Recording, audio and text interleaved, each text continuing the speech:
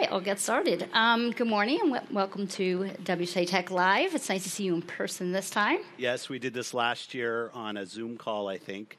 This location a little better. Just, just a little.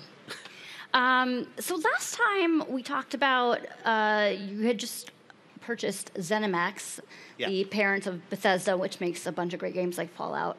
Elder Scrolls, and uh, I asked you at the time if you were done on your shopping spree or if you were still shopping around, and uh, looks like it did make a, a, a pretty big deal. $75 billion for Activision Blizzard. Not done yet. Still in regulatory. That is true. Uh, but my question is again, are, are we done shopping or could we expect more deals for more gaming studios in the future? Well, you know, when we look at video games today, you know, over 3 billion people on the planet play video games, which is just kind of astounding. Nearly half the world's population plays video games. The business itself is a $200 billion business growing by almost double digits every year.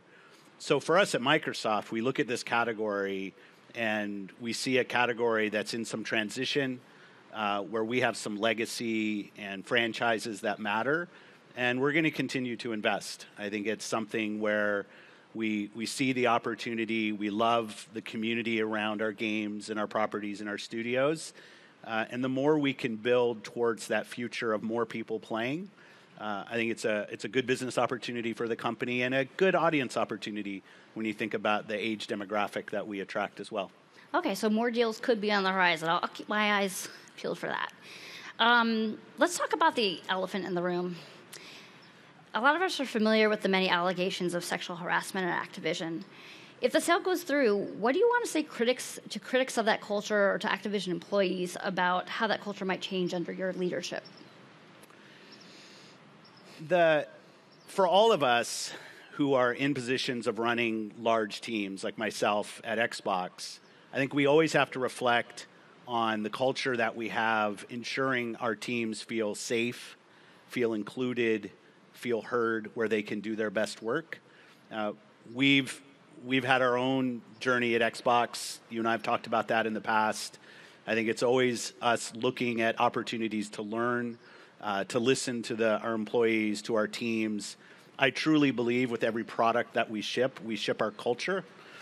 People see whether it's front and center or it's subconsciously woven into the creative that we build that the culture of our teams do, does show up in the products that we build. So ensuring that teams that are part of Xbox feel safe, feel heard, feel included um, is critical to both any valuation and any future for our business. So, does the accountability for an improved culture at Activision then lie with Microsoft? Um, is that something you plan to monitor closely and report back to shareholders? Uh, we do with all of our teams. I mean, one of the things at Microsoft that I've been very proud of in watching our own journey is how we disclose numbers around our employees, and we do that in a very public way. Um, even when sometimes the story needs to be, uh, when there's questions to be asked from some of the data that we're transparent about, and I think we will continue. We will definitely continue to do that with teams as they become part of Microsoft fundamentally, as the head of the business, I feel that the culture of our organization is my responsibility. Um, but it is really a team led thing. Managers matter a lot, our training, um, setting what our expectation is, and following through on that expectation. Uh, it's probably the most important thing that I do in my role. Now, uh, this deal isn't uh, guaranteed to go through. Um, uh, we know that regulators are looking at it. And what happens if just one big jurisdiction says no, like uh, the UK, for example? What happens to the deal then if it's approved here in the US but not overseas? So it, it, it might be surprising to people, but I'm not an expert on doing $70 billion deals. um, so, but I do know that we're very focused on getting approval in the major jurisdictions, and I'm spending a lot of time both in Brussels, London, and with the FTC here in the US. And I'd say the discussions have been what I would say very fair and honest, that it is a big acquisition. There's no doubt. Um, Microsoft and its role in the tech industry, we're a large tech company. And I do think that the discussion around an acquisition of this size is warranted. Uh, and I've appreciated the time to go spend. We're really focused on getting the deal approved in the markets. I'm confident in that. Uh, where I was just in London last week and continue to have discussions with all the regulatory boards. And as I said, I remain confident that we'll get the deal approved. So, one of the major sticking points, at least in the UK, about this deal is around Activision's Call of Duty franchise. Um, Microsoft has said that it plans to continue making that franchise available on all the different platforms. Yes, we do. Yep. Uh, but you haven't said for how long or for how much. I mean, could this change at some point? Could a couple years down the road you say it's exclusive to Xbox Game Pass, or it's exclusive for people who want to stream it, but if you want to buy it on a disc, you could play it on, uh, say, PlayStation? That's not our plan. Our plan is that Call of Duty specifically would be available um, on PlayStation is what you're asking about, but when I think about our plans, I'd love to see it on the Switch. I would love to see uh, I'd love to see the game playable on on many different screens. But if we circle back to why this deal is important to us, when you're you're, you're, spending the amount that we're spending looking at the opportunity in gaming. This opportunity is really about mobile for us. And I know, as you said, most of the dialogue that's out there has been around consoles and how Xbox and PlayStation consoles compete with each other. But when you think about 3 billion people playing video games, there's only about 200 million households that play on console.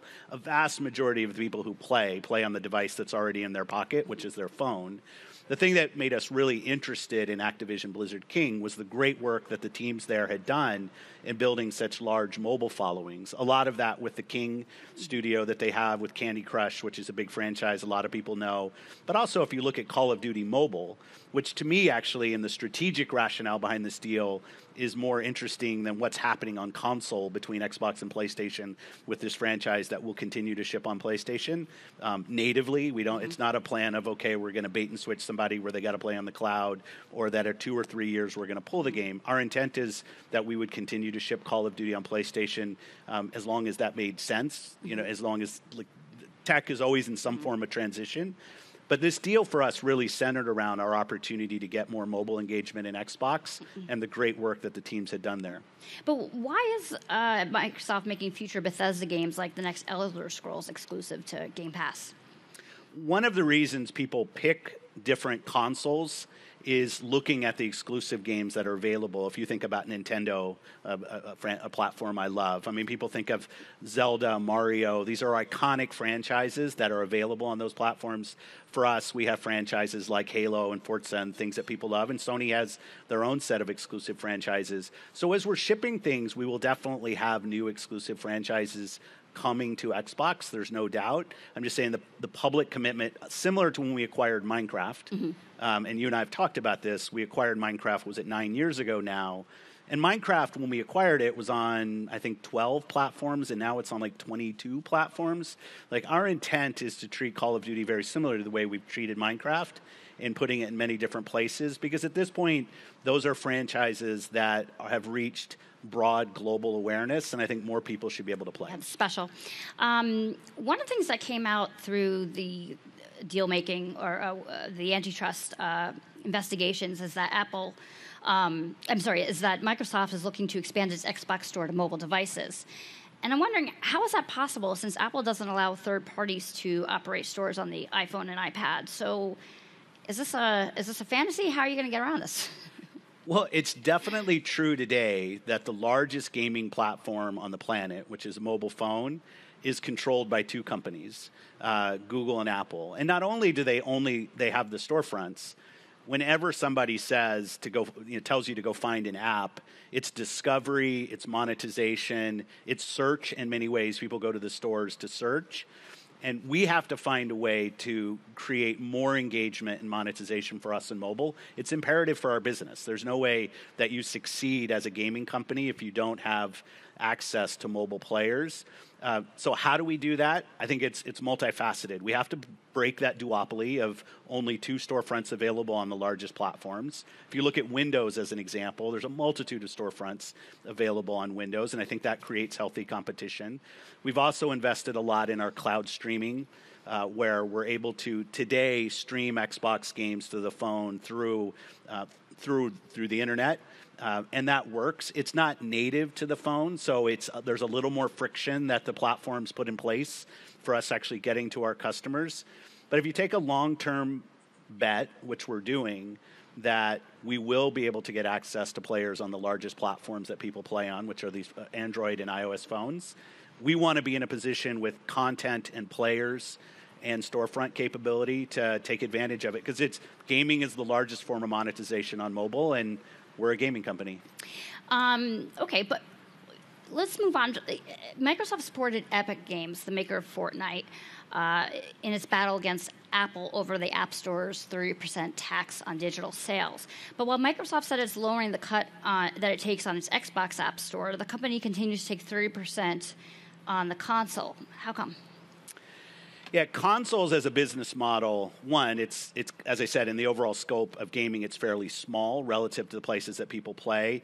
Consoles evolved to a business model much different than phones, where consoles are actually sold at a loss in the market. So when somebody goes and they buy an Xbox at their local retailer, uh, we're subsidizing that purchase somewhere between 100 and 200 dollars, with the expectation that we will recoup that investment over time through accessory sales and storefront mobile phones are not sold at a loss. Mobile phones are profitable. They're general purpose computing devices, and much more like Windows. I think it should be a platform that's open. And as you said, on Windows, we have reduced our royalty because we look at Windows as a profitable business for us, and we want it to be a place where creators and players meet. And uh, you mentioned Epic. I think it's telling that Apple in the at the result of the, of Epic raising a complaint, what did they do? They threw out the largest game in the world from their store, and it just shows the market power a company has.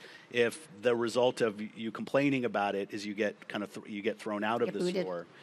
How has uh, Microsoft's conversation with Apple evolved since uh, that lawsuit and, and that trial? Um, has Apple shown any openness at all in maybe allowing cloud gaming?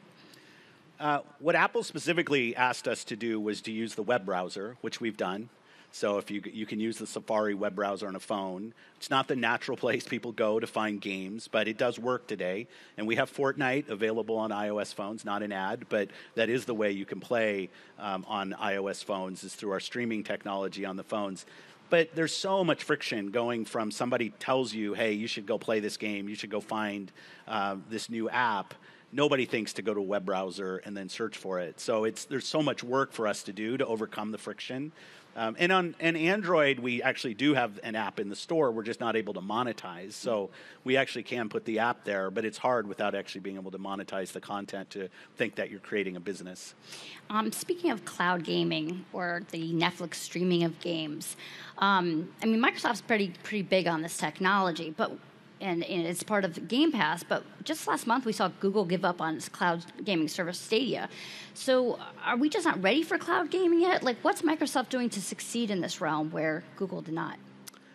Our approach has been to give our customers choice in how they play we haven't gone out and tried to tell people that they should not play on their PC or they should not play on their phone or their gaming console.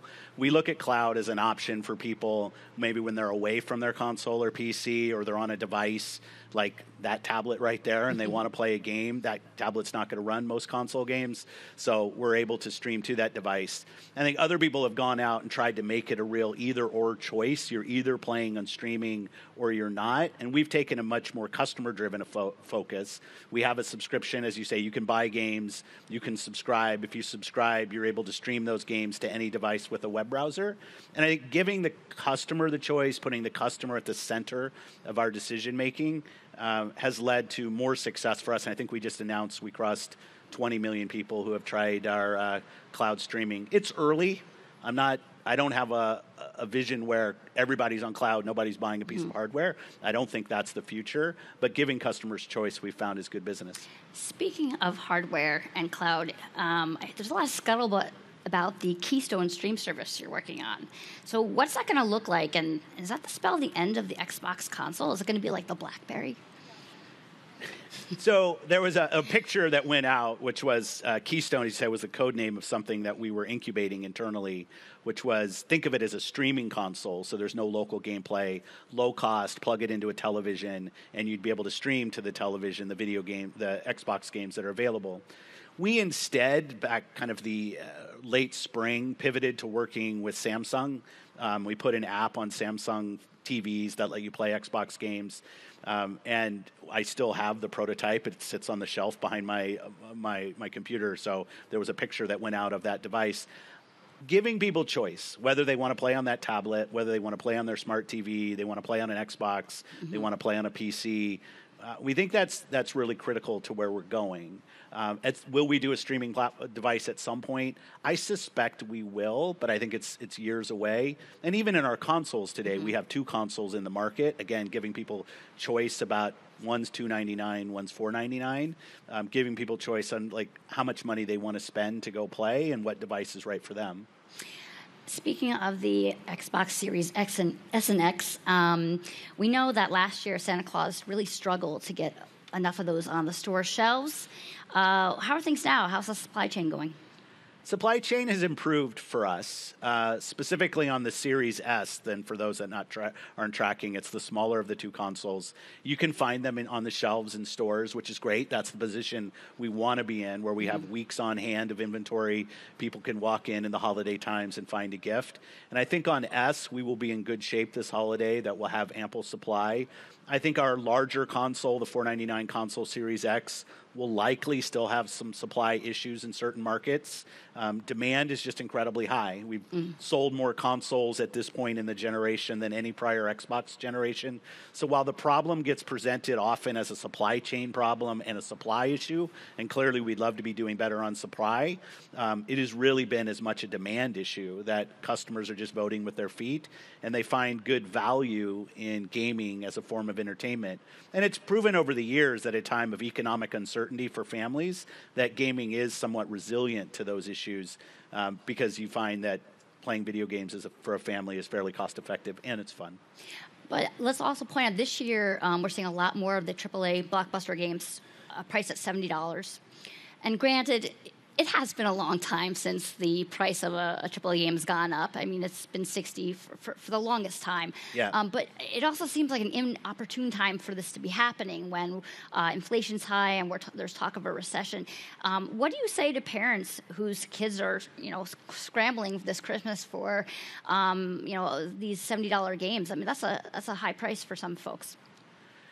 Yeah, I think that for the price point on retail for video games, you said it hasn't gone up in a while, and I think for creators, the cost of building the games has gone up.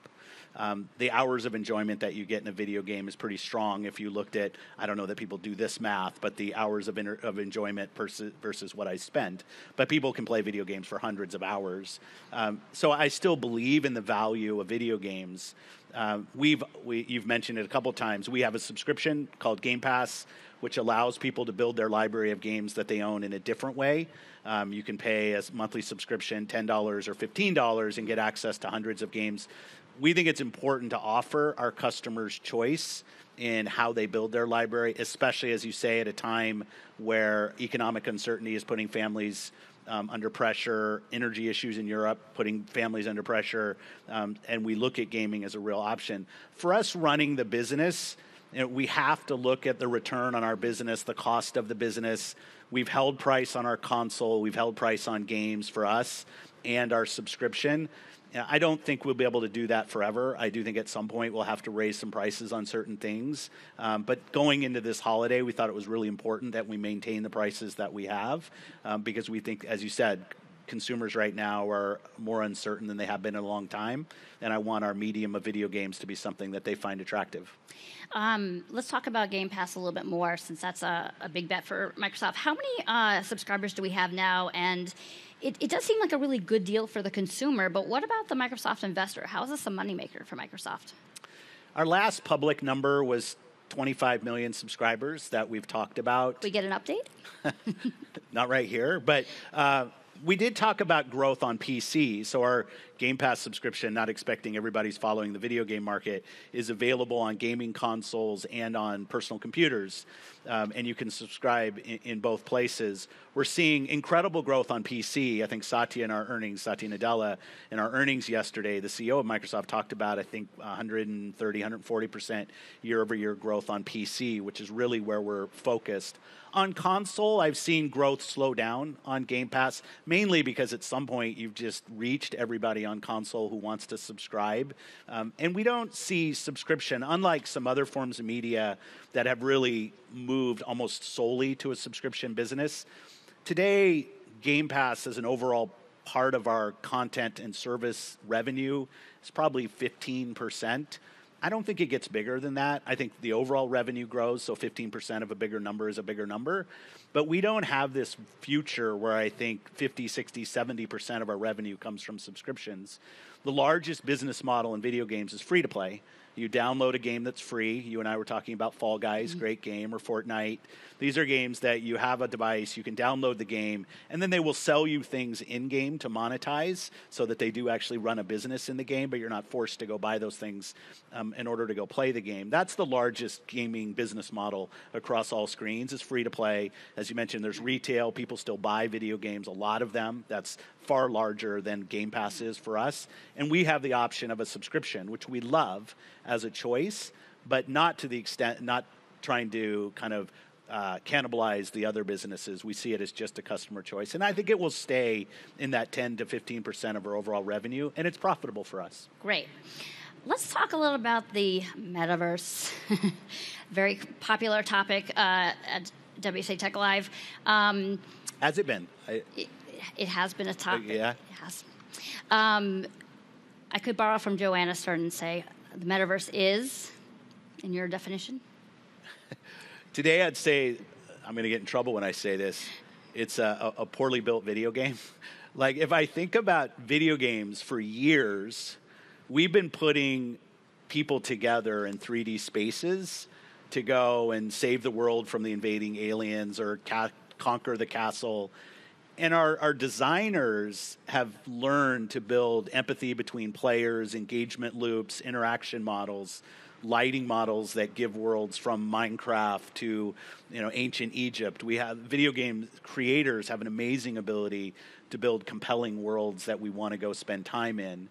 I don't know. For me, building a metaverse that looks like a meeting room, I, I, just find that's not where I want to spend most of my time. When I think about characters and the models and how they look, I want something that's engaging. I want to be able to put my identity on how I look because um, I do in every other form. Whenever I'm playing a game, I create my avatar and I'll, I'll, I'll, pretend this is what I look like, wish this is what I look like. I don't.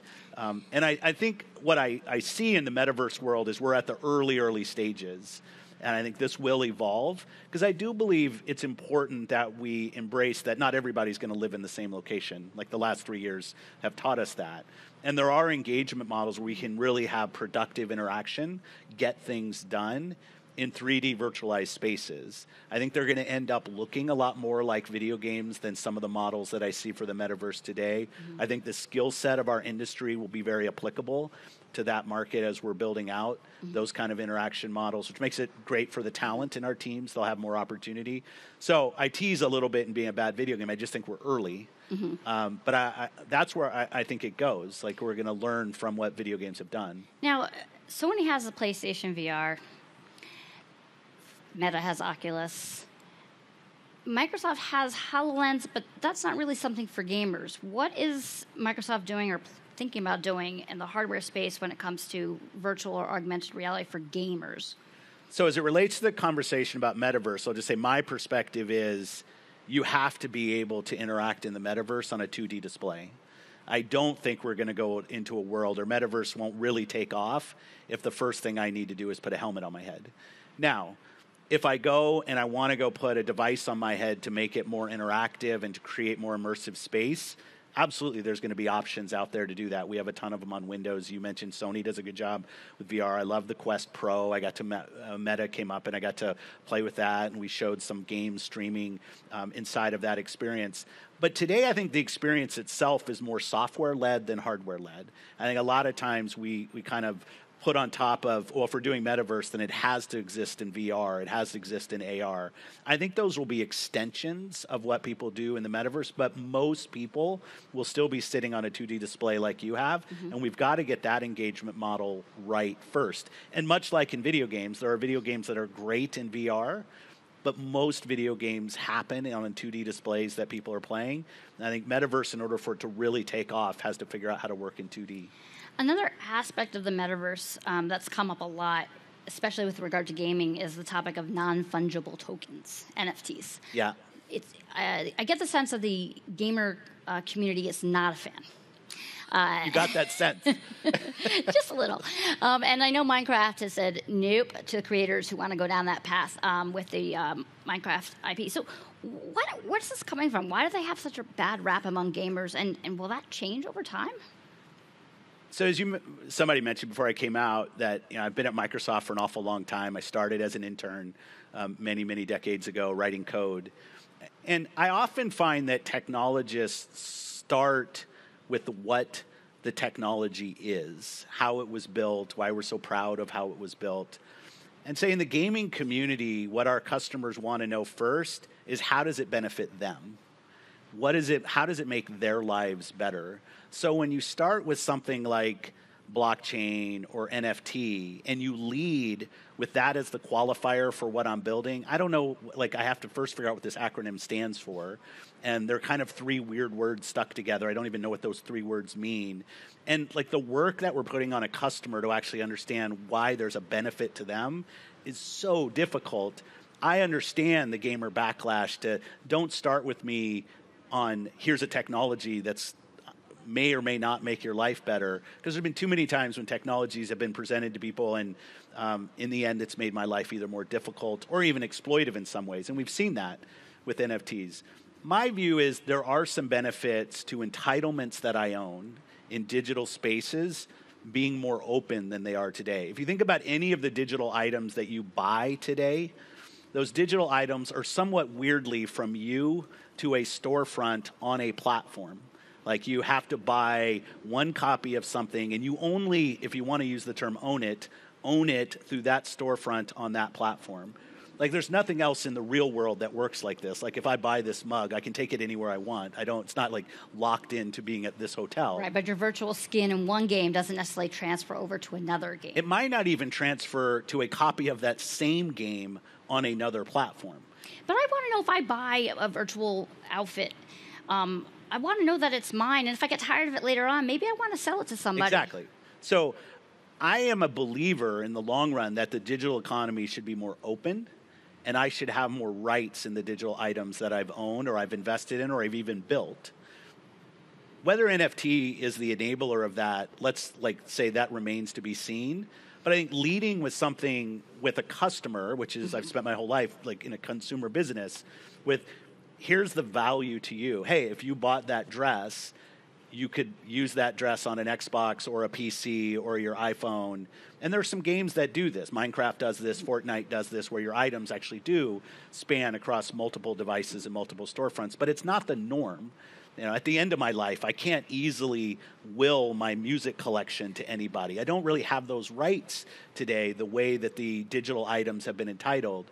So, I, like I said, I, I do think more open entitlement systems are valuable to customers. I would just encourage us in technology to lead with customer benefit and not lead with how we built it or the technology behind it. Gotcha. Don't have to figure it out afterwards. Um, earlier on, we talked a little bit about mobile and how mobile is such a big part of gaming.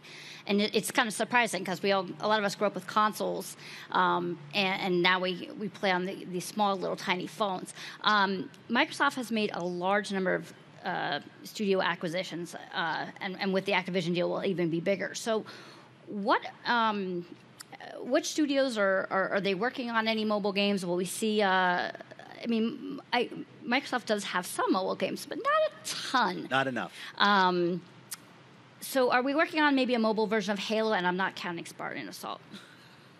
We uh, we're working on a lot of of mobile works. We just announced yesterday Age of Empires coming to mobile, which I think will be great. People will love that. Minecraft does very well on mobile.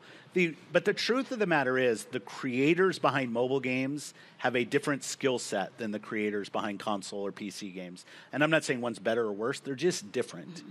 Um, maybe like building a television series is different than building a feature movie. Like the drama arcs are different, the engagement loops are different. These are all the things that go into game design geekdom that we think a lot about as we're designing games. So it's not as easy as taking a team that has built a mega blockbuster kind of think about the, the, the Hollywood blockbuster released mm-hmm. game, a big retail game, and saying, oh, can we just build a mobile game?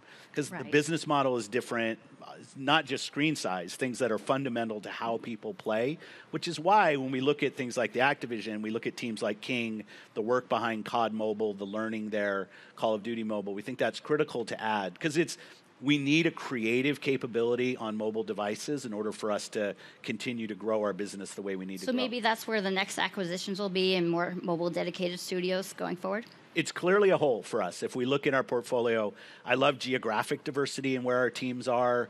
I think having more voices. Too many people in the tech industry look and sound like me. Um, and when we're talking about 3 billion people who play video games, our customer is anybody on the planet. Um, and our teams need to reflect the customers that we aspire to earn through our products. That's not just what we look like, but what we sound like in our lived experiences. We now have teams in Lagos, Nigeria, and Santiago, Chile, and other places. And most of those kind of locations, take like a, a, a Lagos is perfect. There's a lot of gaming activity in the market. Everybody has a phone. The number of consoles that'll ever be sold in a market like that is de minimis, right? It, it almost non-existent. So I want to meet customers where they are and have teams that know how to build creative that they will find interesting. We are low on time here. I'm going to sneak in, try and sneak in two more. Um, if Microsoft could buy any game or any game studio, what would it be?